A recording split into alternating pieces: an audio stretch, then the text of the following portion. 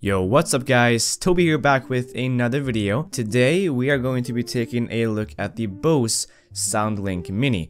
This is a small Bluetooth speaker that fits in the palm of your hand. It retails for 199 US dollars and comes in two different colors.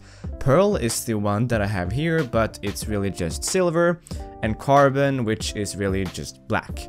And in the box, you get the speaker itself, a charging dock with its cable, and uh, speaking of the box, the unboxing experience was probably the coolest I've seen yet. In terms of charging, there's a dock that you just connect to the wall, and then you place the actual speaker on that dock for it to charge. And the speaker's design looks amazing. It's made out of metal, which feels great in the hand, and up top you have got your control. And those are the power button, volume down, a multi-function button, volume up, and a Bluetooth button if you would like to pair the speaker with another device. On the side, there is a micro USB charging port if you happen to want to use one of those instead of the charging dock, and there's also an aux port for those old school devices. The speaker has rubber feet, so it doesn't vibrate the table or surface that it's on. So yeah, the design is pretty and simple as you can see. Uh, the speaker is not located on both sides though, so listening in groups might not be optimal.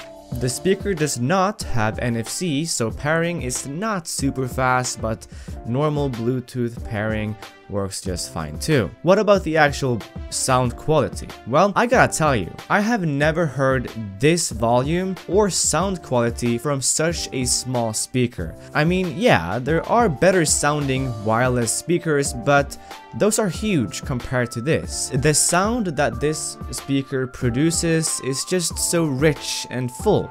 The bass is nice and punchy, and the more higher tones, they sound great too. And the good stuff does not stop there. The battery life, it's just phenomenal. I had the speaker playing full volume music for 4 hours yesterday and it only dropped to 70%, which is just phenomenal. So, as a conclusion, the Bose SoundLink Mini may cost a lot of money, but for those $200, you get a small wireless speaker with an amazing build quality, great sound and volume, amazing battery life, and not only that, you also get a charging dock instead of a normal cable. But that's not to say that it doesn't have any shortcomings because, well, it does. And one of them is the lack of NFC and also kinda the price. $200 is a lot of money, but if you happen to really need a good quality, high volume, small speaker, this is the choice. So with that said, thank you for watching, leave a like if you enjoyed the video and I'll see you guys in the next one. Peace.